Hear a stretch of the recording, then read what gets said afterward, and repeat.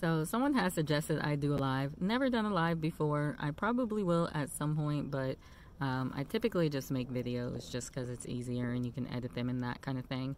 So in Christianity, um, a lot of people just don't like it because they just think it's a list of rules sometimes people don't want to follow rules, which, you know, that gets them in trouble. That's how people end up in prison. It's the same thing with Christianity. You know, God said, if you love me, keep my commandments. Um, and they're there to give you life. I mean, I was not following his commandments before I came to Christianity. I was doing a lot of things that I shouldn't have done. And it literally brought me down to a place where I felt like I was on my deathbed. Like I was saying to myself, this is the end.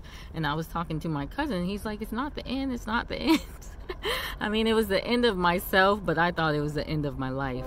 Um, and so the unfortunate thing is, many Christians have kind of foregone the truth of Christianity and have gone the path of New Ageism and motivational speaking and, and, prosperity speaking and that kind of thing. There's nothing wrong with encouraging people, there's nothing wrong with prosperity, um, but I would argue that if you're going to go the New Age route, um, really reconsider what you're doing because the father said do not mix these kinds of things. Anton LaVey is the founder of the Satanic Church, and what he said about New Ageism um, is give us our religion back. He expressly said that New Ageism is a form of Luciferianism. So I can attest to that being a person that practiced it and went overseas to India, one of the places where New Ageism stems from um, and just saw the atrocities that were over there. You know, if you are practicing something that is truthful to God, you know you're not going to have all the the stench and the dying animals and the dying people in the streets you know. Their whole caste system over there is really causing some things uh, that are not very healthy for the people over there. So we'll just put it that way. But i said this because christians can also fall into this motivational speaking um, kind of leaning. And it doesn't necessarily help all people.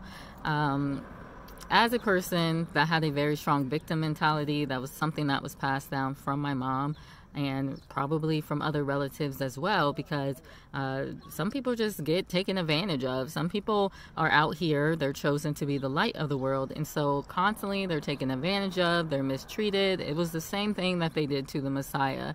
Sometimes you don't know what it is, and so you stay in this vicious cycle of just like self loathing and, and people pleasing and this kind of thing.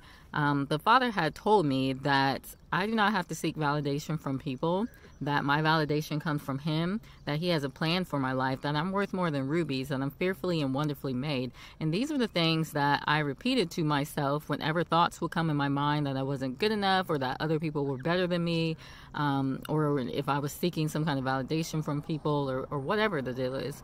Um, and so I just want to encourage people, you know, to be that person in which you suffer with those who are suffering you know because people coming to me and telling me that i either sink or swim or that i'm a flower grow like you know if i don't know that i have the power to grow then how do i grow that's why Christians are supposed to be the people that suffer with other people, that give them um, the wisdom of God so that they can come out of what they are in, you know? I think sometimes we think that because we've got some kind of philosophy of man, um, and maybe even the tools of God that everyone else does. And that's not the truth.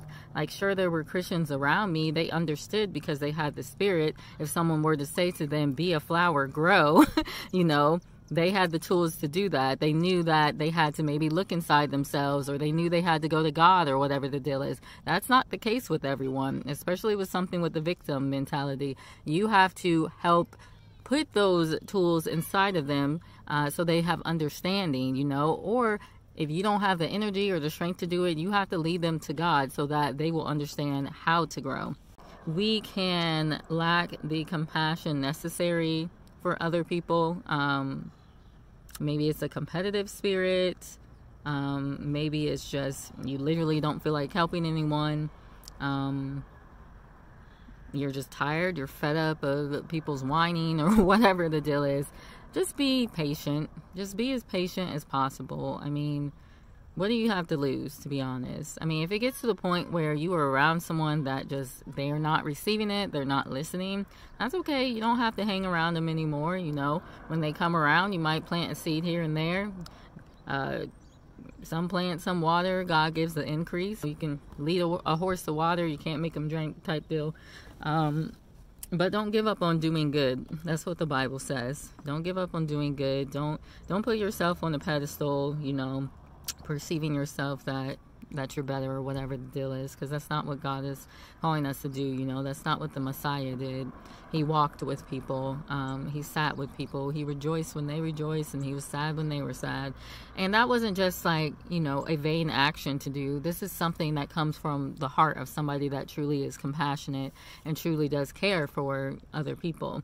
And I understand that in the last days, um, our love is going to wax cold. It's just because you know, a lots of persecution. The atmosphere is very dark and, and that kind of thing. But, you know, stay in the fight, keep doing good, and God will bless you. So, you guys be blessed and have a good one. Bye.